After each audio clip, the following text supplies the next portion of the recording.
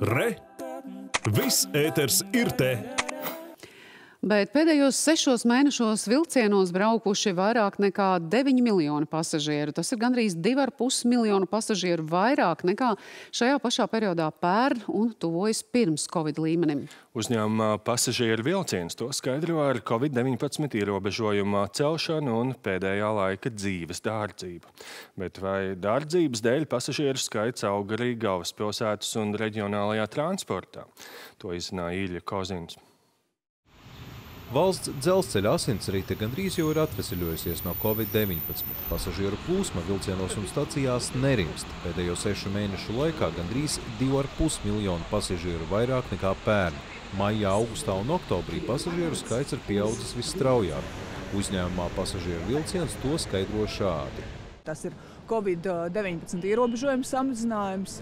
Tas, ka arī ja mēs skatāmies daudz, kas ir palicis dārgāks, attiecīgi degviela un ko cilvēki izvēlās vilcienus, tāpēc, ka tas ir lētāk.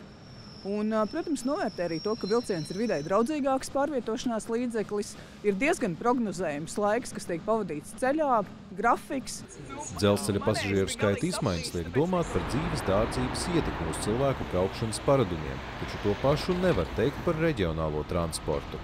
Vēl ir pāragri spriest, kuram faktoram ir lielāka ietekme. Mēs redzam, kā jūs teicat, šo te pieaugumu salīdzinot ar 20. un 19. gadu. Bet viņš ir tāds, kā lai saka, vēl līdz galam nesaprotamu iemeslu dēļ. Jo, kā jau teicu, pasaule ir ārkārtīgi mainījusies pēdējā laikā. Un tad nevar būt tikai inflācijas faktors vien. Mēs esam iemācījušies daudz ko pirkt, attālināt, mēs esam iemācījušies kaut ko taupīt, mēs esam iemācījušies katru dienu neiet uz darbu, daudz ko darīt arī no mājām.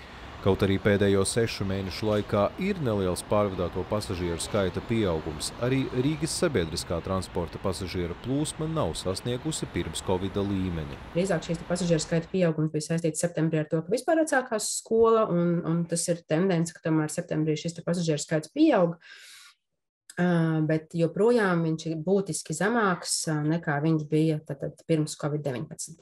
Pirms Covid pandēmijas, piemēram, 2019. gadā, Rīgas satiksme pārvadāja vairāk nekā 134 miljonus pasažieru gadā, bet pandēmijas pirmajā gadā vairāk nekā 85 miljonus. Ilija Kozins, Ivans Milovs, Latvijas televīzija.